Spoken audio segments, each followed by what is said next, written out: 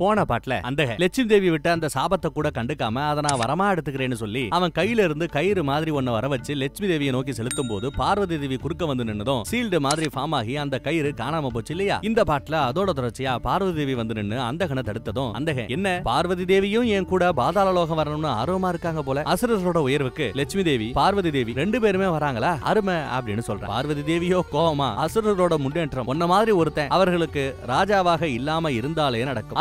அசுரர்களுக்கு நீதான் அவர்களோட உண்மையான எதிரி. தேவர்கள் இல்ல அப்படிங்கிறது புரிய வரும்னு சொல்றாங்க. அதோட இதுவரை நீ அவங்களோட பிரதிநிதியா உருப்படியா என்னத்ததாயா செஞ்சு கிழிச்ச நீயே? எப்பவுமே சுயநலத்தோட தானே இருந்திருக்கிற. அது மாதிரி பண்ணதுனால தானே அசுரர்களுக்கு எப்பவுமே கெட்ட காலமாகவே இருக்குன்னு சொல்றாங்க. ஆனா அந்தகனோ உங்க மகனான என்ன பத்தி நீங்க இப்படி பேசுறத பார்த்து எனக்கு ஒண்ணும் ஆச்சரியமாக இல்லைன்னு சொல்லி பார்வதி தேவியவே நீங்க பண்ண தப்புனால தான் நான் இப்படி இருக்கிறதா பழி சொல்றேன். இன்சல்ட் பண்றேன். இதை கேட்ட லட்சுமி தேவி டென்ஷன் ஆகி பார்வதி தேவிக்கு சப்போர்ட் பண்ற விதமா அம்மான்ற சொல்லுக்கே அர்த்தம் புரியாம நீ பேசிக்கிட்டு இருக்க. யாரை பார்த்து நீ இப்படி எல்லாம் அவச்சொல் பேசுகிறாய்? அப்படின்னு அவங்க இந்த உலகத்துக்கே அம்மாங்கிறத ஞாபகம் வச்சுட்டு பேசு அப்படின்னு சொல்லி கண்டிக்கிறாங்க. அந்த சிவ அங்கங்களை பார்வதி தேவி வளர்க்காம தியாகம் பண்ணதை சொல்லி எந்த அம்மா இந்த மாதிரி எல்லாம் செய்வாங்க? உங்களோட மத்த மூணு பிள்ளைக மாதிரி முருகன மாதிரியோ விநாயகர் மாதிரியோ என்ன வளர்த்துக்க பொறுப்பேத்துக்காம என்ன அம்போன்னு விட்டவங்க தானே இவங்க? ஜலந்தரன் மாதிரி ஆதி மாதிரி உள்ளவர்களுக்கு ஓர வஞ்சனை பண்ணிட்டு வாய் கூசாம உலக மாதான்னு எப்படி சொல்லி திரியறீங்க? அப்படிங்கிற மாதிரி பேசி இன்சல்ட் பண்ணிட்டு நீங்க பண்ண இந்த பாவத்துக்கெல்லாம் நீங்க இந்த மாதிரி அன்பேலன்ஸ்டா பண்ண அந்த விஷயங்களை பேலன்ஸ் ஆக்க என் கூட நீங்க பாதாள லோகம் வாங்கன்னு சொன்னதும் பார்வதி தேவி. மகாதேவர் அவரோட நேர்மறையான சக்தியிலிருந்து உருவான லோகிதாங்க உனக்கு தானமாக கொடுத்துமே நீ அவனை உன் பையன் ஆதி இறந்ததுக்கு பழி வாங்குற விதமா வளர்த்துக்கிட்டு இருக்கிற. இதுல அசுரர்களோட முன்னேற்றம்னு நீ சொல்றது எங்கேயா இருக்கு? சரி. என்ன பாதாள லோகத்துக்கு கூப்பிடுற இல்ல? நான் வரேன். நானே வந்து இந்த கேள்வியை எல்லா அசுரர்களோட முன்னிலையிலும் கேட்கிறேன். அப்பயாவது எனக்கு பதில் கிடைக்குதான்னு பார்க்கலாம்னு சொல்ல. அந்த ஆதியோட மரணம் ஒண்ணும் என்னோட தனிப்பட்ட துக்கம் இல்ல ஒவ்வொரு அசுர குலத்துல இருக்கிற ஒவ்வொரு அசுரனோட மரணமும் அசுர குலத்தோட மரியாதையை சீண்டி பாக்குறதற்கு சமம். அந்த வகையில ஆதியோட மரணத்துக்கு பழி வாங்குகிறது அசுரர்களோட கௌரவத்தால் நிலநாட்ட ரொம்ப முக்கியம்னு பதில் சொல்ல லட்சுமி தேவி மகாபலி ராஜா இருந்தார்ல அவரை உதாரணம் காட்டி அவங்கள மாதிரி நல்லது செஞ்சு ஒரு உதாரண புருஷர்களாக வாழ்வதற்கு ஒரு வாய்ப்பு கிடைச்சு நீ அதை கோட்டை விட்டுட்டேங்கிறாங்க. நீயோ ஆதியோ அப்பேற்பட்டவங்க இல்லையே. மோசமான செயல்களை செஞ்சதுனால தானே அவன் செத்தான் நீயும் சாக போற அப்படிங்கிற மாதிரி பேச அந்த எதுவும் பேச முடியாம வாய முடிக்கிட்டு நிக்கிற பார்வதி தேவி ஆதி பண்ண அந்த தப்ப சொல்லி அவன் செத்தது அவனுக்கான தண்டனைன்னு புரிய வச்சாலும் அந்தக நானும் சிவனின் தங்கம் தானே எனக்கு ஏன் முருகன் கணேச மாதிரி மரியாதை கிடைக்கல? அவங்களுக்கு கிடைச்ச அந்த கடவுள் பட்டமும் எனக்கு கிடைக்கல. என்ன கைலாயத்துல வச்சு ஏன் நீங்க வளர்க்கல அப்படின்னு அந்த பாயிண்ட புடிச்சு இப்ப கேக்குறாங்க. உடனே பார்வதி தேவி அந்தகா மறந்து விட்டாயா? யாரு கூட நீ கம்பேர் பண்ணி பேசுற? கணேசன் கூடயா? கணேசனுக்கும் அவன் பிறந்த சில கணத்திலேயே அவனோட தலை வெட்டப்பட்டது. அதை மறந்து விட்டாயா? முருகனும் ஒன்னும் குழந்தையில இருந்து எங்க கூட வளரல. எங்க கிட்ட இருந்து பிரிக்கப்பட்டு கார்த்திகை பெண்கள் கிட்ட வளர்க்கப்பட்டவன். மானாசாவுமே பிறந்ததும் நாகலோத்துக்கு போய் விட்டுட்டா. ஆனாலும் அவங்க மூணு பேருமே இப்பேற்பட்ட சோதனைகளை சந்திச்சிருந்தாலும் வழிமாறி போகாம நேர்மையான சக்திகளை உணர்ந்து அவர்களுக்குள்ள இருக்கிற தெய்வீக தன்மையை அவங்க முயற்சியால வெளிக்கொண்டு வந்துதான் இன்னைக்கு பூஜைக்கு உரியவர்களாக இருக்கிறாங்க. ஆனா நீ என்ன பண்ண?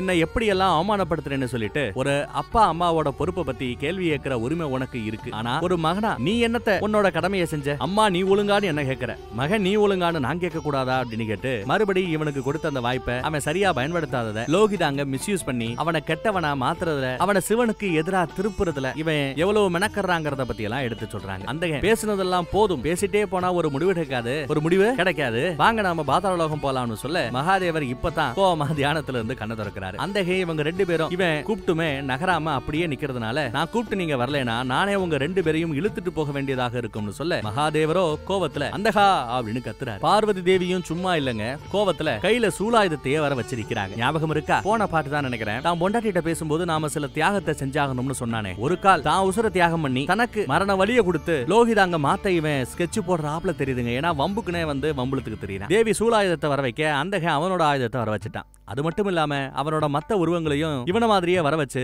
ரெண்டு பேரையும் சுத்து போட்டு ஒவ்வொரு ரூபமா அட்டாக் பண்ண அனுப்ப பார்வதி தேவி வர்ற ஒவ்வொரு ரூபங்களையும் அடிச்சு கொன்னு பறக்க விட்டுட்டு கடைசியா ஒரிஜினல் அந்தகனையே குத்த வந்த நேரம். குத்தாம நிறுத்திட்டு உன்னோட அழிவை மகாதேவர் தான் முடிவு பண்ணணும். அவரோட வரம் தான் என்ன தடுக்குதுன்னு சொல்றாங்க. இவன் என்ன வர வாங்கினா?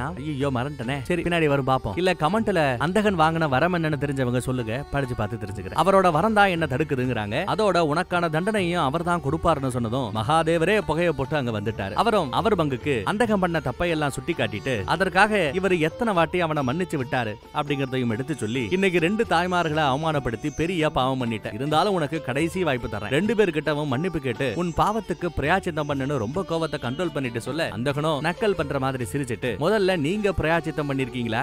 நீங்க பண்ண பாவத்துக்கெல்லாம் நீங்க பிரயாச்சித்தம் பண்ணிருக்கீங்களா என்ன மாதிரி சிவ அங்கங்களை கைவிட்டதே பாவம் தானே நீங்க ஒரு கொடூரமான அப்பா. அது உங்களுக்கு தெரியுமா? அதற்கான பிரயாச்சித்தத்தை எப்ப பண்ண போறீங்க? நீங்க ஒரு பெரிய சுயநலவாதி. அது அது உங்களுக்கு தெரியுமா? அப்படின்னு கேட்டுட்டு அவரையே கோவமாக்கிட்டே போறாங்க. இதுதான் இவனோட பிளானு கூடவே தேவையில்லாம சதிதேவி இறந்த பிறகு தட்சனோட தலையை வெட்டினதுக்கு எப்ப நீங்க பரிகாரம் பண்ண போறீங்கன்னு கேட்க அதையும் காட்டுறாங்க. பிரம்மதேவரோட தலையை வெட்டினதுக்கு எப்ப நீங்க பரிகாரம் பண்ண போறீங்கன்னு கேட்க ஒரு முறை மகாதேவர் பிரம்மதேவரோட ஐந்தாவது தலையை சூலத்தால வெட்டினார் இல்லையா? வேத நிந்தனை செய்தார் அப்படின்னு அதையும் காட்டுறாங்க. அப்புறம் கணேசன் தலையை வெட்டினதையும் சொல்லி காட்டுறான். முருகனை இவர் புரிஞ்சுக்காம அடிக்கடி புண்படுத்தின மாதிரி பேசிட்டு உங்க குழந்தைகளுக்கு நீங்க பண்ண இந்த அநியாயத்துக்கு நீங்க பிராச்சித்தம் பண்ணிட்டீர்களா? அப்படின்னு கேட்கிறான். இதற்கப்புறம் மகாதேவர் பண்ண எண்ணற்ற வதங்களை எல்லாம் எடுத்து சொல்லி இதையெல்லாம் நீங்க பண்ணீங்களே அதற்கு மன்னிப்பு கேட்டீர்களா அப்படின்னு கேட்டுட்டு நீங்க உங்களோட நேர்மறையான சக்திகள்ல பிறந்த லோகிதாங்க கூட பார்வதி தேவியை வளர்க்க விடாம பூமாதேவிக்கு கொடுத்துட்டீங்க. உங்களுக்கு குற்ற உணர்ச்சியே இல்லையா அப்படின்னு அவரை எம்புட்டு கோபமாக்க முடியுமோ அம்புட்டு ஆக்கிட்டு கடைசியா உங்களுக்கு தான் தானம் பண்றதுனா ரொம்ப பிடிக்குமோ? ஒண்ணு பண்ணுங்களேன். பேசாம உங்க பொண்டாட்டி பார்வதியும் நாராயண பொண்டாட்டி லட்சுமி தேவியும் எனக்கு தியாகம் பண்ணிருங்க. நான் உங்களோட பாவத்தெல்லாம் மன்னிச்சிடுறேன்னு கூடவே உங்ககிட்ட இருக்கிற திரிசூலத்தையும் தியாகம் பண்ணுங்கன்னு திமுறா பேசினா. மகாதேவருக்கு வரும் பாருங்க கோபம். உன்னோட பலத்தின் மேல இருக்கிற திமிருனால உன்னோட தாயையே அவமானப்படுத்துறதுக்கான அந்த தண்டனை உனக்கு கண்டிப்பாக கிடைக்கும்னு சொல்றாரு அப்படியே கட் பண்ணி பாதாள லோகத்தை காட்டுறாங்க. அங்க அந்தகனோட மனைவி கிட்டயும் லோகிதான் கிட்டவும் ஒரு அசுர நாம போர்ல தோத்துட்டோம்னு சொல்ல லோகிதான் அண்ணனுக்கு என்னாச்சு? அப்படின்னு கேக்குறாரு. அவன் அவர் கைலாயத்துக்கு போனாரு. மத்தபடி அவர்கிட்ட இருந்து எந்த தகவலும் வரலன்னு சொன்னதும் அந்தகனோட பொண்டாட்டி இது எப்படி சாத்தியமாகும்? அவர் ஏன் கைலாயம் போனாரு? அவருக்கு எதுவும் ஆகியிருக்க கூடாது. எனக்கு ஏன் ஏதோ ஒரு பயமா இருக்கு? என் மனசு அப்படியே தவிக்குது அப்படின்னு பதற ஆரம்பிக்க லோகிதாங் எதுவும் ஆகாதுன்னு அந்த அம்மாவுக்கு ஆறுதல் சொல்றான். அந்தகனோட பொண்டாட்டியோ லோகிதாங் நீ உன்னோட அண்ணனை பாதுகாப்ப இல்லையா? இன்னைக்கு உண்மையை சொல்லு. நீ யார் பக்கம் இருக்கிற? உன் அண்ணன் பக்கமா? இல்ல மகாதேவர் பக்கமா? அப்படின்னு கேட்டு உழுக்குற. லோகிதாங்கம் அந்தகன் அவனை சின்ன வயசுல இருந்து வளர்த்தது எல்லாத்தையும் நினைச்சு பாக்குறான் அப்படியே கைலாயமலையை காட்ட மகாதேவர் செம்ம கோவத்துல அவரோட சூளத்தை அந்தகனை நோக்கி வீச அது வேகமா அவனை நோக்கி போகுது. மகாதேவருமே பயங்கர சோகத்தோடவும் கோவத்தோடவும் தான் இத பண்றாரு. சூளம் இவனை நோக்கி வரத ரொம்ப சந்தோஷமா சிரிப்போட நெஞ்சில வாங்கிட்டு சூளத்தோட அப்படியே பறந்து பாதாள லோகம் வரைக்கும் போறாங்க. அந்த சூலம் போய் ஒரு மலையில முற்ற நேரம். பயங்கரமா லோகிதாங்க அப்படின்னு கத்துறான். அந்த சத்தத்தை கேட்டு லோகிதாங்கும் அந்தகனோட மனைவியும் பதறி போய் என்ன சத்தம்? அப்படின்னு பார்க்க போறாங்க. போய் பார்த்தாக்கா சூலத்துக்கு மேல குத்துன அந்த லெமன் மாதிரி அந்தகன் குத்திக்கிட்டு நிக்கிறான். லட்சுமி தேவி கொடுத்த சாபம் இந்த இடத்துல பழிச்சிருச்சு அவன் சூலத்தால குத்தப்பட்டு வலியோட இப்படி கிடக்கணும்னு அவங்க சாபம் கொடுத்தாங்கல்ல அது நடக்குது. இத பார்த்து அவனோட பொண்டாட்டி அலறி போய் கத்துறான் லோகிதாங்கோ இதை பார்த்துட்டு யாரு உங்களை இப்படி பண்ணுனா? என்னாச்சு? அப்படின்னு கேட்க அந்தகனோ முக்தி முக்தி அப்படின்னு கத்துறான் லோகிதாங்கோ இருங்கண்ணா நான் உங்களை இதுல இருந்து முக்தி தரேன். ஏதாவது பண்ணி உங்களை ஃப்ரீ பண்ணி விடுறேன்னு சொல்றேன். அந்தகனோ இல்ல தம்பி இல்ல. நான் அந்த முக்தியை பத்தி பேசல. வேற ஒரு முக்தியை பத்தி பேசுறேன்னு வழியில சிரிச்சுக்கிட்டே சொல்றான். லோகிதாங்க ரொம்ப குழப்பமா பார்க்க அந்தகனோட பொண்டாட்டி திரிசூலமா அப்படி என்றால் அப்படி என்றால் மகாதேவர் மறுபடியும் இன்னொரு சிவனின் அங்கத்தை இப்படி பண்ணிட்டாரா? அப்படின்னு கேட்க லோகிதாங்கும் கோபமாகிறார் அந்தகன் சொன்னது ஞாபகம் இருக்கா? மகாதேவரை லோகிதாங் வெறுக்கணும்னா அதற்கு நான் ஒரு தியாகம் செஞ்சாகணும் தோத்தாகணும்னு சொல்லியிருப்பானே. அதுதான் இப்ப நடந்திருக்கு. இதுதான் இவனோட பிளான் பிளான் பண்ணியே மகாதேவர் கையால குத்து வாங்கி இருக்கிறான் மகாதேவர் மேல கொஞ்சம் கொஞ்சமா ஈடுபாடு கொண்டு வந்த நம்ம லோகிதாங் இனி என்ன செய்ய போகிறான்? அந்த பக்கம் மகாதேவரை காட்டினா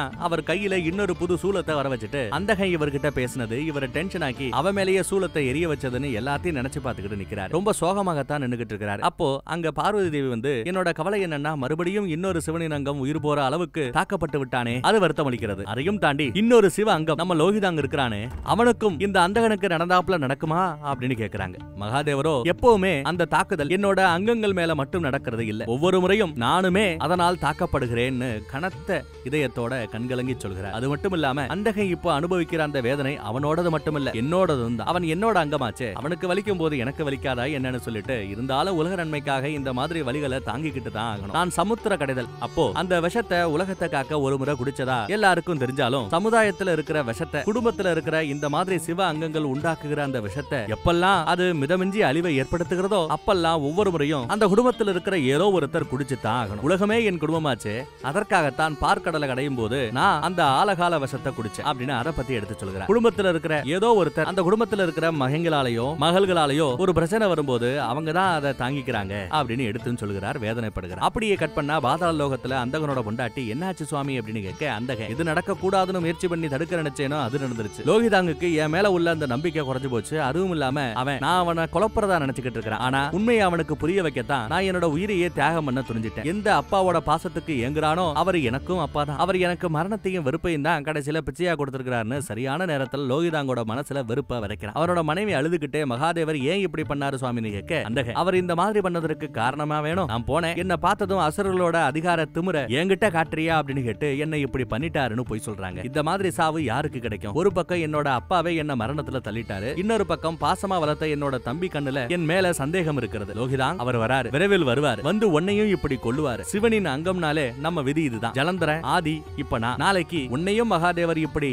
நிச்சயம் செய்வார் அப்படின்னு அப்படின்னு பயமுறுத்திட்டு லோகிதாங் கிட்ட கடைசியா எனக்கு ஒரு சத்தியம் பண்ணி கொடுன்னு கேக்குறான். லோகிதாங்கும் நான் நிச்சயம் சத்தியம் பண்ணி தரேன்னு சொல்ல அந்தகனோ போ போய் மகாதேவரோட பாதங்கள்ல சரணடைஞ்சிரு அப்படின்னு சொல்றாரு. லோகிதாங்குக்கு அதிர்ச்சி. என்னன்னா சொல்றீங்க? அப்படின்னு கேட்க அந்தகன் மாஸ்டர் பிளானா? ஆமா தம்பி. உன்னை காப்பாத்திக்க அதுதான் ஒரே வழி. வேற எதுவும் வழி இல்ல. உன்னால மகாதேவரை தோற்கடிக்கவே முடியாதுப்பா. அவர் தேவர்களுக்கெல்லாம் தேவரா இருந்தாலுமே அவர் ரொம்ப கொடூரமானவர். அழிவின் கடவுள் அவர். அப்படின்னு பயங்கரமா லோகிதாங் மனசுல இவன் செத்தாவது மகாதேவரை லோகிதாங்க வெறுக்க வைக்கணும். தான் செத்து தான் பிள்ளையோட சாவுக்கு லோகிதாங் மூலமாக பழி வாங்கணுங்கிற முடிவுல ரொம்ப தெளிவா இருக்கிறான். அதனால அவனால முடிஞ்ச அளவுக்கு வன்மத்தை விதைக்கிறான். மகாதேவரை இவன் விடுற அந்த பொய்ய பார்த்துட்டு தான் இருக்கிறாரு. அது மட்டும் இல்லாம அந்த லோகிதாங் கிட்ட என்ன அவர் அவரோட புள்ளைன்னு கூட பார்க்காம எதிரியை அழிக்கிற மாதிரி தாக்கிட்டாரு என்ன மன்னிச்சிருப்பா? நான் உன்னை அப்படிப்பட்ட மோசமானவர் கூட மோத தயார்படுத்தி விட்டேன். என் தப்பு தான் அது அப்படின்னு சொல்ல சொல்ல சொல்ல லோகிதாங்குக்கோ கோபம் பயங்கரமா வருது. மகாதேவர் மேல வெறுப்பு அதிகமாகுது. லோகிதான் போதுமண்ணா பேசாதீங்க. என்னால இந்த வேதனையை தாங்க முடியல. உங்க சாவுக்கு மகாதேவர் காரணம் இல்ல நான் தான் காரணம். நான் உங்க பேச்சை கேட்டிருந்தா நீங்க தனியா யுத்தத்துக்கு போயிருக்க மாட்டீங்க. இல்லையா? நான் உங்க கூட வந்து இருந்தா அந்த சூலத்தை நான் என் மேல வாங்கியிருப்பேனே. நான் உங்ககிட்ட இப்போ அதற்காக மன்னிப்பு கேட்க கூட தகுதி இல்லாதவனாக நிற்கிறேனே அப்படின்னு சொல்ல அப்படியே கைலாயமலையில பார்வதி தேவி சிவங்கிட்ட சுவாமி இந்த மாதிரி சக்கரம் எப்ப முடிவுக்கு வரும்? ஒரு சிவ அங்கம் உருவாகி உங்களுக்கு எதிராக மாறி உங்களுக்கே சவால் விட்டு சண்டை போட்டு செத்து போற இந்த சக்கரம் இந்த சுழல் இந்த லூப்பு எப்பதான் முடிவுக்கு வரும்னு கேக்குறாங்க. இந்த முறை லோகிதாங்குக்கும் அந்த லூப்பு வரப்போகிறதா? என்னால இன்னொரு சிவனின் அங்கம் இப்படி சாகிறத பார்க்க முடியாது. லோகிதாங்க நீங்க தான் மாத்தி உங்க வழிக்கு கொண்டு வரணும். உங்க கூட வச்சுக்கணும். அதை ஏன் பண்ண மாட்டேங்கிறீங்கன்னு கேக்குறாங்க. மகாதேவரோ பார்வதி தேவி கிட்ட வந்து முருகனும் கைலாயத்துல தான் இருக்கிறான். அவன் மட்டும் என்ன? இன்னைய வர ரொம்ப ஸ்டெடியாவா இருக்கிறான்? அப்படின்னு கேட்டுட்டு நான் அந்தகனை மன்னிச்சு கைலாயத்துல தங்க வச்சேன். அப்ப மட்டும் அவன் மாறிட்டானா? அப்படின்னு கேட்டுட்டு கைலாயத்துல இருந்துட்டாலோ இல்ல என் பக்கத்துல இருந்துட்டாலோ என்னோட சிவ அங்கங்கள் மாறி விடுவார்கள் அப்படின்னு நினைக்க கூடாது. அது தப்பு. அவங்களுக்கு எந்த மாதிரி வாழ்க்கை சூழ்நிலை கிடைச்சாலும் எது நல்லது கெட்டதுன்னு அவங்க தான் சுயமா கத்துக்கணும். இதனாலதான் சொல்றேன் லோகிதாங்க இங்க கூட்டிட்டு வந்துட்டா மட்டும் பிரச்சனை தீந்துராது. நான் ஏற்கனவே சொன்ன மாதிரி ஒவ்வொருத்தவர்களுக்கும் அவர்களுக்கான இலக்கு இருக்கு நோக்கம் இருக்கு பயணம் இருக்கு. லோகுதான் விபரீதமான சூழ்நிலையில இருந்தாலுமே எதிர்காலத்துல அவன் நிச்சயம் தன்னை உணர்வதில் வெற்றி அடைவான் அந்த வெற்றி சுயமா அவனோட வெற்றியோட அவனோட தேர்ந்தெடுக்கப்பட்ட வழியாக இருக்கும். யாரோட உதவியும் தலையீடும் இல்லாம முழுக்க முழுக்க அவனோட வெற்றியாக இருக்கும்னு உறுதியாக சொல்கிறார். அப்படியே பாதாள லோகத்தை காட்ட அங்க அந்தகன் லோகிதாங்க கிட்ட தப்பு உன்னோடது இல்ல என்னோடதுதான் நான் தான் உன்னோட மென்மையான மனசை நஞ்சாக்கிட்டேன்னு சொல்றான். ஒருவேளை இந்த பையன் திருந்திட்டானா? ஏன் இப்படி டயலாக் விடுறான்னு ஒன்னும் புரியலையே. அடுத்து சொல்றாங்க இந்த நேரத்துல எனக்கு ஏன் மகன் ஆதி என் கூட இல்லையே? அப்படின்னு தோணுது. அவன் மட்டும் இருந்திருந்தா இந்நேரம் இந்த கொலைக்கு நிச்சயம் பழி வாங்கி எனக்கு முக்தியை கொடுத்திருப்பான்னு நல்லா வாழைப்பழத்துல ஊசி ஏத்துற ஆப்ல லோகிதாங்க மனசுல கெடுக்கிறாங்க. அதோட என்னோட முக்தி இப்போ நடக்காது. மகாதேவரோட அழிவுல தான் என்னோட முக்தி கிடைக்கும்னு சொன்னதும் லோகிதான் இல்லையன்னா நான் இருக்கும்போது அப்படி பேசாதீங்க. நான் உங்களுக்கு முக்தி கிடைக்க செய்கிறேன். நான் அவசியம் மகாதேவரை பழிவாங்குவேன் நான் அவருக்கு இந்த பகை எப்படிப்பட்டதுன்னு காட்டுவேன். என்னோட உருவாக்கம் அவரோட அழிவின் ஆரம்பம்ங்கிறத நான் நிச்சயம் காட்டுவேன்னு சபதம் எடுக்க அந்த நேரத்துல அந்தகை அவனோட மைண்ட் வாய்ஸ்ல இதுதான் என்னோட ஆசையுமடா தம்பி. இதனாலதான் நான் இந்த விளையாட்டையே விளையாடினேன். என்னோட மகன் சாவுக்கு நிச்சயம் நீ தான் பழி வாங்கணும்னு நினைச்சுக்கிட்டு லோகிதான் கிட்ட அதெல்லாம் உன்னால முடியாதுப்பா. நீ ரொம்ப வீக்கா இருக்கிற. மகாதேவர் மேல பிரியமா வேற இருக்க. அப்படின்னு சொல்ல லோகிதாங்கோ இல்ல. இனி அவர் மேல எனக்கு வெறுப்பு மட்டும் தான் மிச்சம் இருக்கும். நிச்சயம் நான் மாற மாட்டேன் இந்த வெறுப்பை என்னோட சக்தியாக மாத்திப்பேன்னு சொல்லி நான் உங்களோட இந்த உயிர் தியாகத்தை வேஸ்டாக விட மாட்டேன் அப்படின்னு சத்தியம் பண்றாரு. அவர் கால்ல விழுந்து வணங்கிட்டு போறாரு. அந்தகன் இதை பார்த்து சிரிச்சுக்கிட்டே சந்தோஷமா அப்படியே அடங்கிட்டாங்க. அப்படியே லோகிதாங் சோகமாக போறத காட்டுறாங்க. அந்தகன் கடைசியா பேசுனதை நினைச்சுக்கிட்டே போய் அவன் செதுக்குன அந்த உருவத்தை நாரதர் கொடுத்த அந்த வீணையை ரெண்டையும் கோவமா பாக்குறான். அதை பார்த்து அப்படியே கத்திட்டே வந்து ஃபர்ஸ்ட் நாரதர் கொடுத்த அந்த வீணையை அந்த பாறையில அடிச்சு உடைச்சிட்டு பயங்கரமா கத்தி அவன் கையில ஆயுதத்தை வர வச்சு சிவன் உருவமுள்ள அந்த பாறையவே ரெண்டா வெட்டி புலந்துட்டான். மகாதேவரும் பார்வதி தேவி இத